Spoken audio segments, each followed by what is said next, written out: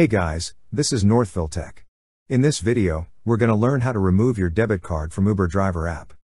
If you don't have an Uber Driver account, we will put our referral link in the description below for you to sign up. We will also put links in the description below for similar gig platforms for you to sign up and earn extra money. To start, open the app by tapping on it. Once the app is open, you will see three horizontal stack lines at the top left corner of the screen. Tap on the three horizontal stack lines. On the left side menu, you will see an option for Wallet. Tap on Wallet. Under Wallet, you will see an option for Payment Methods. Tap on Payment Methods. On the Linked Payment Methods section, you will see your linked cards.